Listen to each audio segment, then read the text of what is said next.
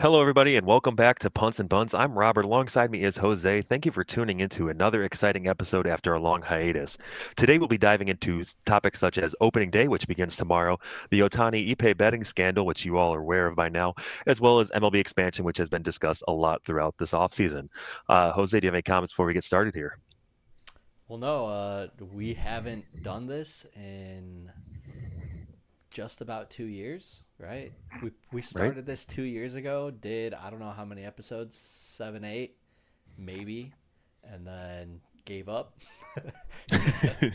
uh, now we're trying this again. So now we have a little bit more knowledge, hopefully, of what we're doing. Uh, we don't have Sean here with us today, but he does. Uh, he is still going to be one of uh, the guys on here, so mm-hmm. just excited to try this again. Yeah, for sure. And we do touch football, remember that. But uh, Sean's usually more of our football guy.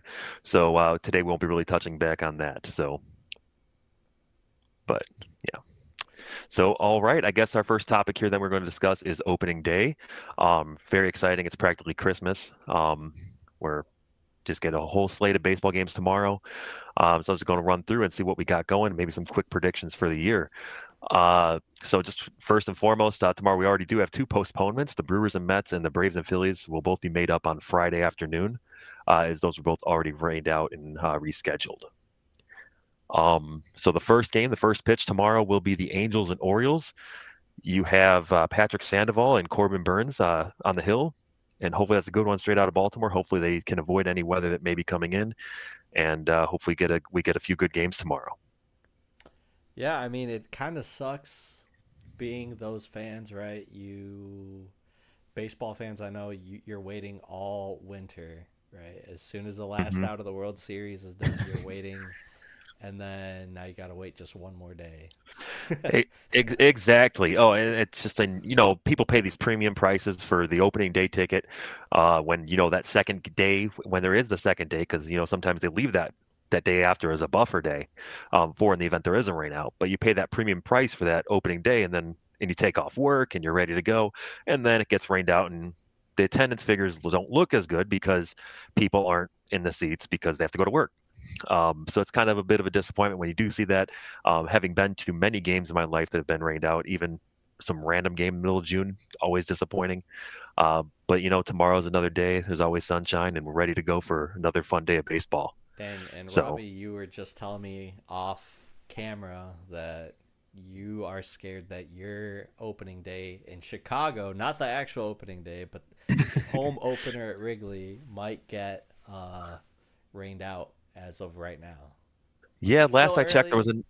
It's early. It's Wednesday night as we're recording this, but uh, opening day Chicago ninety percent Monday. Yep, it was last I checked was a 91% chance of rain, mostly in the morning. Uh, looks like as it goes into the afternoon, about 70% chance. So hopefully it can hold off and they get the game going, and hopefully get at least a good four innings, and uh, and hopefully we can get a good game in, and hopefully the Cubs can kick the crap out of the Rockies and give a big old uh, wave to Kris Bryant. So, well, I mean, if you're if you're making it there, and it's a day where it was supposed to rain, hopefully you get more than the four innings that Exactly, exactly, exactly. But as long as we can get a game, it's official, so you can get through that four and a half point, um, and you get that the official game on the on the books. Then you know it's hey, the the part of the opening day that makes it exciting is the, the festivities. You know, you have the introduction of all the players and coaches, and you just got like it's just a different vibe around the ballpark. Um, if you've never been to an opening day, uh, I strongly urge you to get to one, just because it is a good time and it's just it's it's just a different atmosphere. It's almost like a playoff atmosphere in early April right. or late March. but uh, but yeah, I mean, if you look at the slate there, Jose, are there any games that excite you for tomorrow outside of uh, obviously Cubs and Rangers with the reigning World Series champions uh, going against the Cubs on ESPN tomorrow night at uh, 7:35 Eastern? No, I mean, obviously, as a Cubs fan, I'm just going to be keeping an eye out for, I guess, this year in the Central, more the Reds, I feel, more than any of the other teams. The Brewers, mm-hmm. besides Brewers fans, I feel like have taken a step back. I mean, we took their manager away from them. The Cardinals, uh, their pitching rotation's gone already, which, like, oh no, you signed a bunch of 35 year olds. I'm 31, but signing a bunch of 35 year olds and nobody's gonna be able to make uh, that first couple games. Like, who would have thought that would have happened? Uh, Oh, right. Pirates, Pirates still don't really. Or the know what they're Pirates. doing. their Uh, their their ownership is atrocious. The Pirates. Yeah. I mean, they've been they've been a mess ever since they pretty much lost McCutchen the first time. right. Uh, and they've, I mean, and you know they were all about let's fire Clint Hurdle. It's like, well, how about you make some better decisions and get players that people want to come see. I mean, you have one of the beau- most beautiful ballparks in this in the country, and nobody's there to see the games because who who wants to go pay for that? Right. Yeah. Uh, so then, yeah, it kind of leaves you with the Reds, even though sports books like are still showing the Cardinals as favorites over the Cubs. Some of them, which I don't really, I they're just going off pedigree at that point. Like, Yeah, I think they're going off that, and I think they're going just off the offense. I mean, that that offense was it had a real down year last year. I mean, you got two of the mo- uh, excuse me, uh, two generational talents at the corner infield spots in uh, Arenado and Goldschmidt, and you have a great catcher in Willson Contreras who had a very off year last year. Uh, that that team could turn around offensively, but I just don't think they have the pitching and bullpen to, to keep up with it. They do have a top ten bullpen, but I don't know how much that can handle if you know if your starters are only giving you three four innings. So, Yeah. and that's my biggest concern for for the Cardinals. I think I cut you off at at a, a point when you were reading off those opening day games. So you want to finish that off? Yeah, well, uh, let's see. I was just I was going through some some hot ones. I mean, you got a probably pretty good one with the Giants and Padres at 4:10 Eastern, uh, with uh, Logan Webb and Yu Darvish on the mound. Uh, Cardinals Dodgers start the same time in LA with Mikolas and Glasnow on the mound. Uh, Blue Jays Rays, you got Berrios and Eflin. Uh, Twins and Royals, that's kind of a sleeper. Um, Tigers and White Sox, that's another sleeper. It's the that's the AL Central in a nutshell, though. Um, uh, and you got Pirates, Marlins, uh, Astros, Yankees. You know, you you know the Yankees always like to uh, to see good Altuve play, so um, that'll be a fun one for sure with uh, Cortes and uh, Valdez on the on the mound for there. Uh, and then we'll have a couple other games there, and then we'll round off the nightcap there with uh, you got the Rockies, D-backs, Guardians, and Athletics, and then the Red Sox, Mariners, all on the West Coast, uh, starting at 10:10 Eastern for some late night games. Um, Yeah. I mean, I'm Mostly- most- break, so I'm I'm watching them all. And I just got the Uh, T-Mobile uh, MLB TV finally. They waited last minute to give it to us.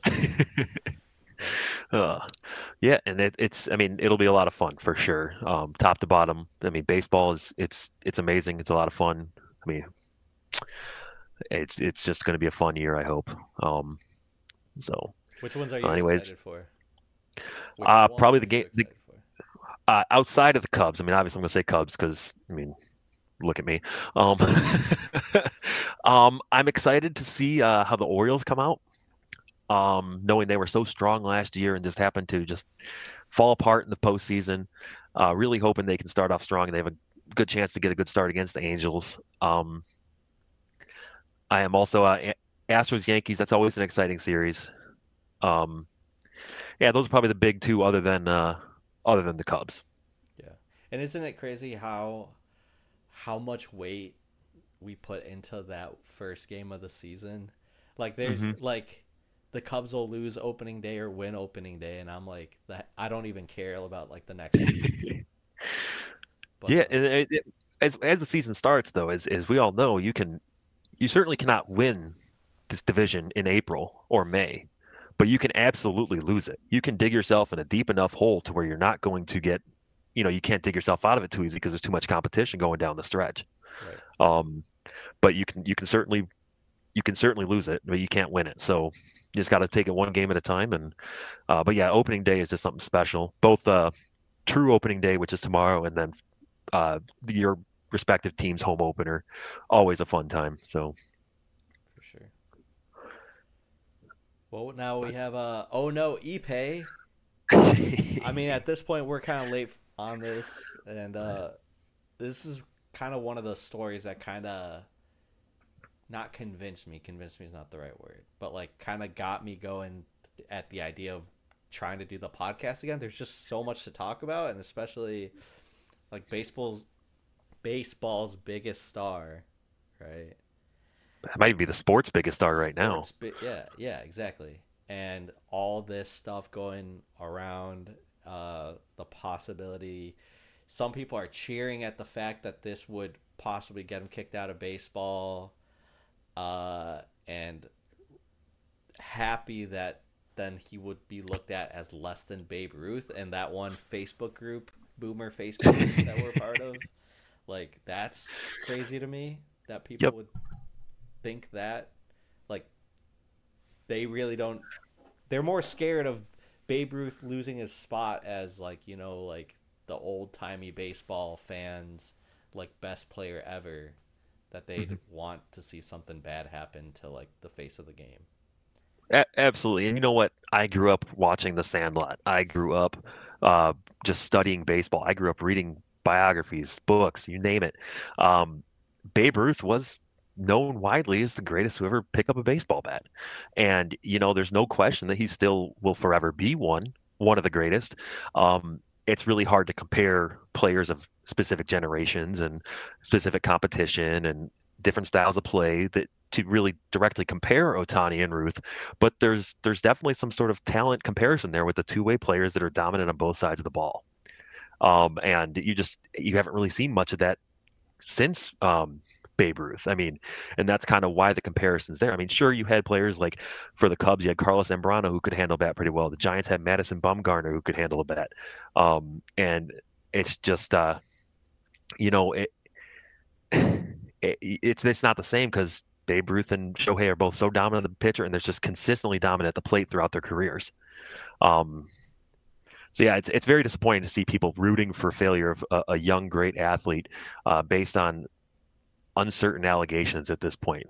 You know, discredit everything that Ohtani's done based on some allegations that may or may not be true. Uh, it, it, it's really kind of sad to see that people are rooting against somebody being so good just because it kind of you know affects or um, threatens their golden boy as being not considered the quote unquote greatest of all time anymore when it's really hard to compare generations as it is.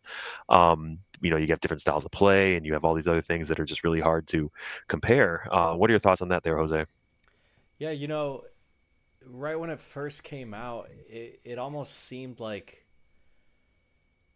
I mean, it, it came out when they were in South Korea, right? So, Correct. um, they're in South Korea, whatever. They play the first game, and all of a sudden, you know, I, I'm a big like talking baseball guy on Instagram. That's mainly where I get a lot of my baseball stuff, and you know, I just saw the thing that said, uh, Shohei's translator Ippei um, has been like basically fired from the Dodgers and had like a meeting with them like in the clubhouse after game one or something.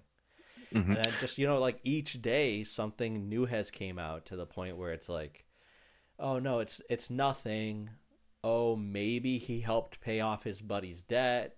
Oh, it was an illegal bookie oh, but it's his friend. Would you'd probably do that if you had the money for your friend?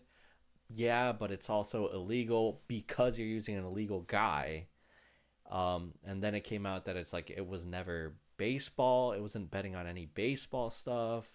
And then it came out that right. he didn't pay for anything. Um, and uh, did you watch the press conference, the ten minute, the like fifteen minute thing? Yes, I did. Um, and first, it, it, was not the easiest to listen to or watch because uh, with the translator in between everything. um, but it was, uh, I did pick up on it, and uh, yeah, I mean, I, I thought he seemed quite genuine and quite uh, transparent about the topic. Um, I know that's not necessarily always true. I mean, these guys are trained in media and they know how to put on a poker face when they need to. Um, so it's really hard to say. But yeah, it's like kind of like to build on what you said was that Ippei Mizuhara, he was betting on soccer, NBA, NFL, and college football, and stated that he had never bet on baseball um, because he knows the rules. And for those who don't know the rules surrounding it, um, players can gamble. There's no question. Players are allowed to gamble, uh, but they cannot gamble on baseball in any way, shape, or form. And that by the rule is uh, uh, MLB rulebook, uh, section 20, rule 20, or rule 21, section D, uh, says that uh, any player, umpire, or club or league official or employee uh, is not allowed to bet on baseball, and they shall be declared ineligible for one year if they bet on baseball in a game in which they are not associated with. So even in that case, that's not any reason to ban Ohtani for life. I mean, it's eh, right there one one year max at that point. Um, it's when they start betting on games like what Pete Rose was doing, where he was, you know, that which is rule two, where you are betting on games that you are involved in, and then that puts you permanently ineligible, much like Pete Rose and much like some others who have ended up in that in that category. But uh, and then lastly, which is what this rule seems to be following, uh, is that you can bet on other sports. So if he's betting on football or betting on soccer, um, that's fine. There's no nothing wrong with that. But also there is a rule against uh, doing it with an illegal bookie, um, which is what happened because California is one of 12 states where it is not legal uh, to bet on sports. Um, so that is that's that's the biggest concern right now, considering we don't have any reason to believe that they were betting on baseball, or rather, Ippei was betting on baseball. We have no reason to believe right now that Ohtani was doing any of that whatsoever. Um, but that, that's kind of the the point there. Yeah, I mean, at this point, all we can see is just uh, see what the investigation shows or doesn't show. And uh, mm-hmm. I know Ohtani and uh, who was it? Miguel Rojas on the Chris Rose rotation, like they talked about if is if there's any effect of that on the team, and they said no. It, it's like it's just business as usual. It's just like stuff that's happening, but like they they're not thinking about it as a team, like or they're not letting it affect them, uh, like to stop them from winning any games. So I guess that's good. Or yep, bad. right. I and I mean, the Dodgers to be good, but I mean, you, you, know, you just got all these people comparing Ohtani to Pete Rose, and it's just it's a completely different scenario. Um, to to what we know it for for fact is, you know, Pete Rose got busted when he was managing games. Um, it did come out later that he was also doing some well while playing, as far as I'm aware. Um, but also, I mean, people should be, eh, eh, from what I see, people should be starting to compare Pete Rose to Wander Franco. I mean, if you've read uh, all this other stuff about, you know, him having a sexual relationship with an underage girl, it's like, why are we comparing him to Ohtani? I mean, should be comparing to Franco right there. But, I mean, I digress. So. and uh, I think the last thing that we had uh, set to talk about was the ML possible MLB expansion, right? Yeah, so I mean that's that's probably one of the biggest topics was throughout the entire offseason is we kind of had a, a slow uh, slow free agent market despite having a a hell of a free agent lineup. Um, it just everything kind of moved so slow. Like, I mean, it was just kind of dragging on and on. Like, when is Bellinger going to sign? When is this going to happen? Where's Ohtani going to go? And it just seemed to take a lot longer than a lot of people were expecting based on previous years. Um, so the topic in the offseason was possible relocation and expansion. More so, we're going to discuss the expansion aspect. Uh, we already know the uh, the Oakland A's are soon to relocate to Las Vegas. Um, but as for expansion teams, I mean, you've heard a lot about Charlotte. I mean, they already have uh, pro sports and the other three major sports. Um, you've heard a bit about Nashville. They already have a couple other pro teams there. Uh, and you've also heard a bit about Salt Lake City. Um, they do have one pro team with the uh, the Utah Jazz for the NBA. Um, but all three of those cities do very well with their minor league teams, their minor league attendance. It could very well see any of those three cities being a, a hot place for for a new market, uh, whether it be a relocation or an expansion. Um, and I've, I've, also heard some rumblings about possibly doing international expansion, such as, uh, although technically not out of the U.S., Puerto Rico and um, even Mexico City or other areas in Mexico, or even bring it back to Montreal.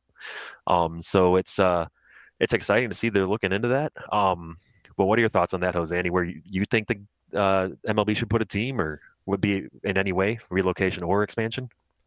Um, I mean, anytime this comes up, and like you said, it's was definitely a topic all off season. Um, you know, yeah, exactly. You hear you hear Nashville, you hear Montreal, you hear Vegas, you hear Portland, right? Mm-hmm. Um, is there any way the Athletics don't make it to Vegas? Um, that's uh, that's hard. I mean, I think there's been there's nothing. I mean, there's nothing officially set in stone yet. I mean, they did right. just close the Tropic the Tropicana Hotel and Casino. Um, that is where which is the area that they plan on putting the stadium on that part of the strip. Uh, so that just closed, or I think it's actually set to close uh, on April 1st. So my apologies. Uh, it's set to close here shortly. Um, but I, th- I, think there's like some people protesting saying that, uh, you know, there's like groups that feel that these public funds should not go to stadiums and they should go to schools and and stuff like that, as opposed to uh, having these these huge stadiums. I mean, if you if you've been out to Vegas and whether you've been to a game or not, um, the stadiums they got there for the NHL and the uh, and the NFL are they're pretty big stadiums. They're they're they're definitely beautiful. At least I've only seen them from the outside, but they're they're good looking stadiums and they're real clo- close proximity to the strip. So anybody who's staying, uh, you know, on the on the strip there is, has easy access to get to those stadiums. Um, so I mean, yeah, I mean the fact that I don't know, it's like it's the same thing here in Chicago, right? So we have the White Sox that are trying to get publicly funded, like their brand new like whole area, or at least it was proposed, right? And then we also have the mm-hmm. Bears trying to do the same thing, and like they're trying to move. It's like these billionaire owners don't want to pay. I don't know. I I don't know the exact number, right? But like for their what? business right? Mm-hmm. And instead, it has to be you and I uh, paying right. for it. You know, obviously, I'm not paying for the entire stadium myself, but like for money, for our money to go to that instead of a school, instead of the roads, instead of whatever other thing, uh, it's kind of crazy. To just to make yeah, I, to make somebody else money, even though I'm a fan, I'll I'll, I'll give you money buying your T-shirts, buying your jerseys, except the fanatic one, fanatics ones. but, like you know, I'll I'll pay the freaking ten bucks a hot dog, and fifteen bucks for a beer. I'll give you money that way. I don't. I, right. Right. You know. So. Um, no, and, and I think the whole concept of just kind of what you're building off of here with the um, with the White Sox and Bears wanting stadiums, it's just it's first off the White Sox stadium. It's it's a hair over 30 years old. I mean, it's still a nice stadium. Needs a little bit of updating at this point, but it's still a very nice stadium. Um, it's a great place to catch a ball game. Great proximity to the highway. Easy to get to through public transit if you feel comfortable taking public transit to the stadium, um, just based on the location of it.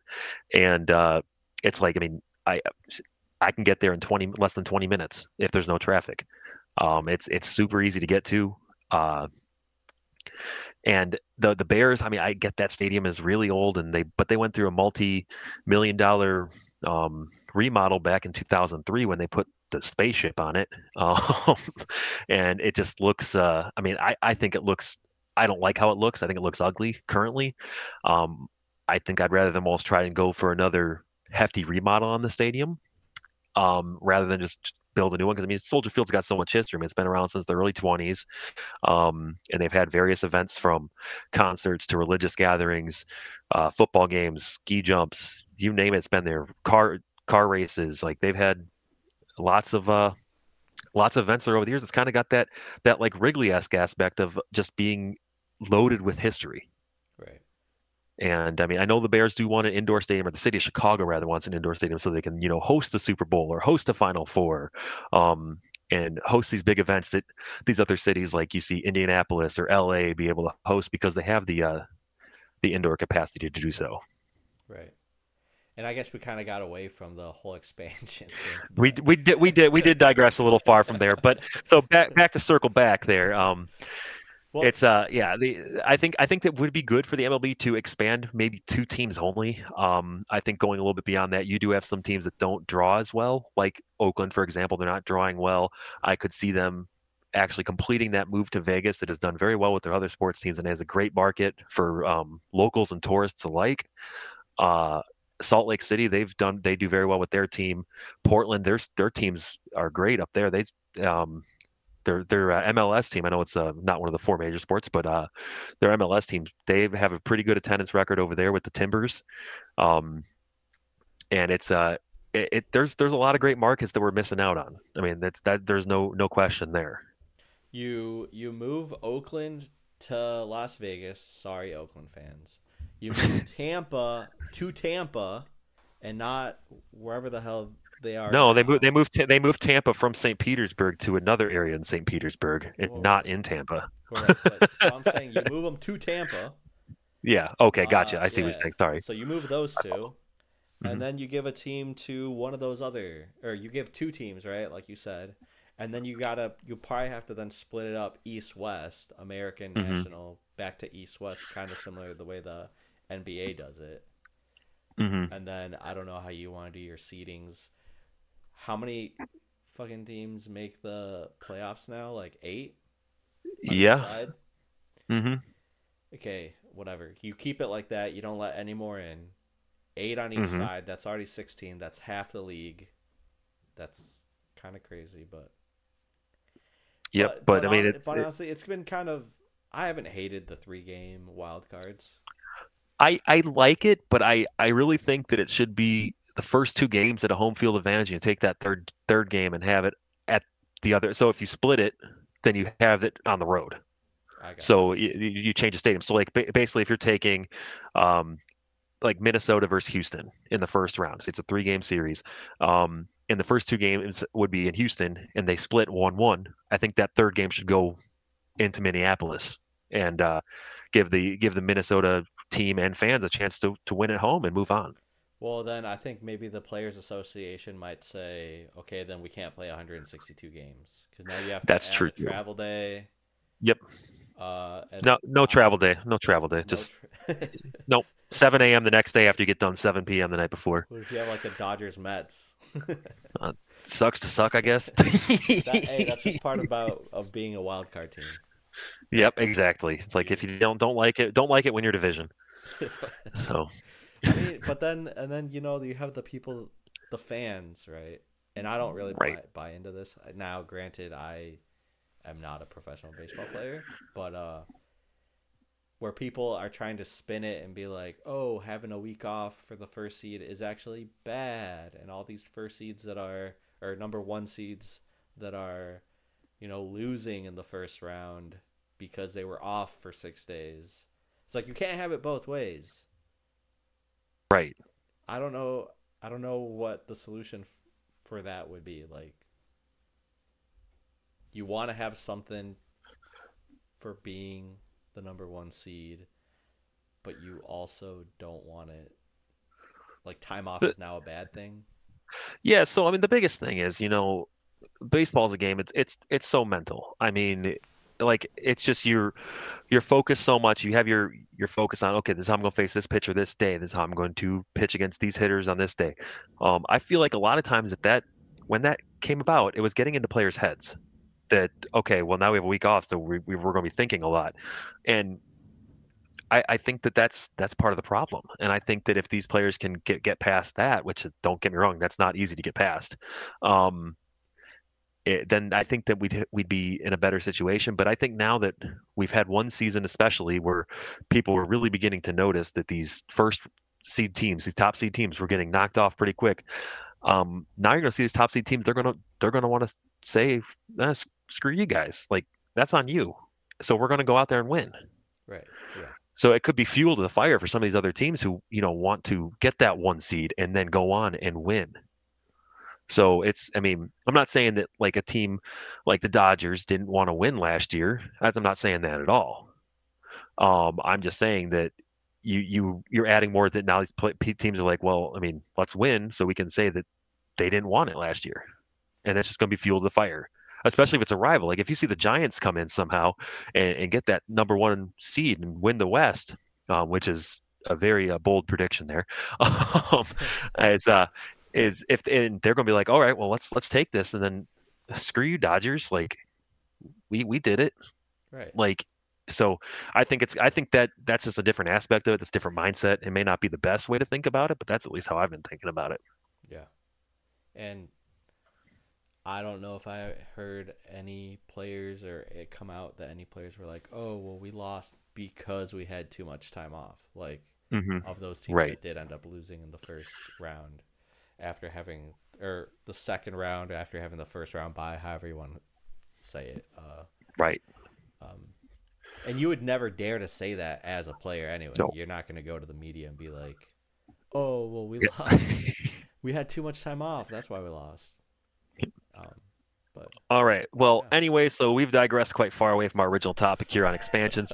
so I guess here, uh, in conclusion, going into the uh, going into the season starting tomorrow, uh, Jose, who is your National League champion, American League champion, and World Series champion? okay, well, my brain says. My brain says Dodgers, obviously. I think everybody's brain would say Dodgers, right? Mhm. Dodgers or Braves, probably. But I'm a Cubs fan, uh, so I, I gotta say Cubs. Just because all you have to do, and what what we've seen the past couple years of the playoffs is you just have to get into the playoffs, and then once you're in the playoffs, who knows what the hell is gonna happen? Nobody had Diamondbacks Rangers to begin the year. Uh, No. last year, and if you did, I'll buy you a beer. I don't know. Uh, buy, buy one of them fifteen dollar beers at the at the baseball stadium, so they don't have to build a new stadium. yeah, we'll, we'll contribute to the new White Sox stadium, I guess. But uh, I'll just I'll say the Cubs because I do feel like they can win the division, and once you're in the playoffs, whatever, it's it's Mhm. anybody's game. So I'll say Cubs. Then American League, I will say, I will say Yankees are kind of overrated. Um, and I will say, I'll say Mariners. Just for All the same reason, I feel like they're kind of in the same spot as the Cubs. I don't see them winning the division, but I could see them getting in through wild card. And just like I just finished saying, uh, you get in. Who knows what's going to happen once you do? So I'll just say Cubs, Mariners, and Cubs winning. All right, I like it. Uh, if I had to go here, I'm saying my American League. I'm going with Baltimore. I think they're going to come out strong this year. They had a great year last year. They have a lot of young talent who's very strong and only going to get better. Uh, unless their interpreter starts gambling on games. Um, um, uh, I'm, I'm kidding. They're all English speaking guys who look exactly the same. Yeah, Um, but uh, anyways, uh, the uh, and, and for National League, um, so I, I'm kind of in the same boat as you. I think the the Dodgers and the Braves are probably the two easy picks. Um, I honestly, I, I'm gonna I'm gonna say I want the Cubs, and my overall prediction, my true prediction, would be the Cubs, and Cubs win it all. Um, so Cubs, Orioles, Cubs win it all. Welcome But to if I'm trying, podcast. We're- we're Cubs fans. if I'm trying not to be if I'm trying not to be biased here, um, Right. I would not be surprised to see the Giants make a run. Well, yeah, They yeah. added a lot of depth to that team. I would be I, I think they're going to be a playoff team, and I think they're going to put up a hell of a fight in the postseason. Um, and if we could somehow get like a Dodgers Giants uh, playoff matchup, that would be just so fun. Um, just for you know, it's like when back in 2015 when we had Cubs Cardinals. Um, it was just it was a riot. It was a blast. Um, I mean, I think, uh, Giants over Padres, easy. Yeah. Oh, yeah. So, but I, I think uh, Giants and Orioles in the World Series. Um, Orange and black. whew, that yeah, man. Uh, I think I'm, I think I'm gonna go Baltimore. I think uh, I don't know. It's a battle of two nice stadiums. One team that's much younger, one team that's more built. Man, Honestly, that that'd be, a, that'd be a fun cool- series. Yeah, I was gonna say that'd be a cool World Series. East Coast, West Coast. That'd be that'd be a fun World Series. Um, I yeah, I think of so I guess like let's just say that um, with my unbiased opinion, I'm going to go Orioles, Giants, taking the Orioles to win it in six. Nice. Oh, I didn't say in how many games. Well, yeah, I didn't ask mi- that. yours is way more realistic than mine. Mine, I was just trying to play up the.